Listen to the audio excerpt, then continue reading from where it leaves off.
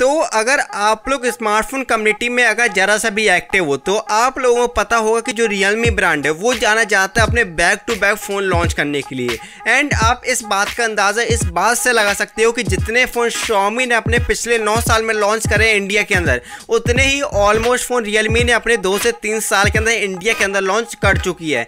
And Realme अब launch करने वाली है अपनी एक और नई सीरीज़ को इंडिया के अंदर, जो कि होने वाली है रियलमी की नाइन सीरीज़ एंड आज की इस वीडियो के अंदर लोग बात करने वाले हैं इसी रियलमी नाइन सीरीज़ के एक फ़ोन रियलमी नाइन के बारे में जानने वाले हैं कि ये फ़ोन आपका कब तक इंडिया में लॉन्च होगा, इसकी इंडियन प्राइसिंग क्या होगी, साथ ही ये फ़ोन 5G होगा या फिर 4G होगा।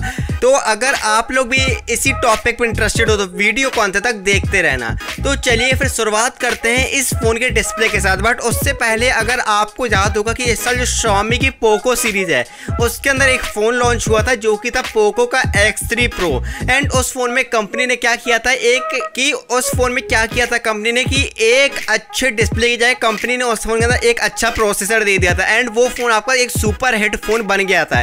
एंड इस बार सेम स्ट्रेटजी आपका रियलमी भी कॉपी करने वाला है, जहाँ पे रियलमी इस डिस्प्ले में ना फोकस करके एक अच्छे प्रोसेसर के फोकस करने जा रहा है। तो अगर मैं इस फ़ोन के डिस्प्ले के बारे में बात करूँ तो आपको जो Realme 9 के अंदर डिस्प्ले मिलती है, वो है आपकी 6.5 पॉइंट इंचेस की एक फुल एचडी प्लस वाली डिस्प्ले, जो कि आपकी बेस है 405 ppi पर और एक IPS LCD पैनल है, जो कि आपका 120 ट्वेंटी के रिफ्रेश रेट के ऊपर आता है। एंड अगर आप एक चीज़ नोटिस करोगे कि जो आपका रिफ्रेश रेट है, वो आपका कंपनी ने बहुत अच्छा कर दिया। एंड अब आप लोगों के पास एक चॉइस होगी कि अगर आपको एक एमोलेट डिस्प्ले चाहिए तो आपको Realme 8 को लेना चाहिए। एंड अगर आपको एक अच्छा रिफ्रेश रेट चाहिए तो आपको Realme 9 को लेना चाहिए। एंड अगर मैं बात करूँ इस फ़ोन की बैटरी के बारे में तो जो आपको Realme 9 के अंदर बैटरी मिलेगी, वो होगी आपकी करीबन पाँच हज़ार की, जो कि आपकी तीस वॉट के फास्ट चार्जर के साथ आएगी। एंड वहीं इस फ़ोन में जो आपको कैमरा मिलेंगे, वो मिलेंगे 48 मेगापिक्सल के ट्रिपल प्राइमरी कैमरा सेट और साथ ही कंपनी आपको एक सेल्फी में एक 16 मेगापिक्सल का फ्रंट कैमरा देगी, जो कि आपका साइड पंच होल के ऊपर दिया जाएगा। एंड इस फ़ोन के अंदर जो आप लोगों को प्रोसेसर मिलेगा, वो होगा आपका क्वालकॉम स्नैपड्रैगन 768G वाला, जो कि आपका एक 5G बैंड सपोर्टेड प्रोसेसर है और एक ऑक्टा कोर प्रोसेसर है।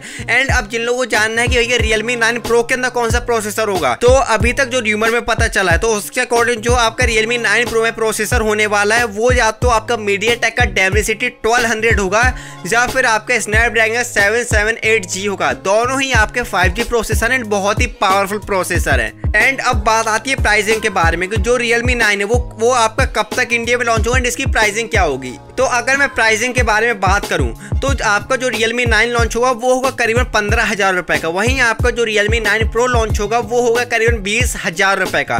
दोनों ही फ़ोन आपके पोको X3 Pro को काफ़ी अच्छा कंपटीशन देंगे।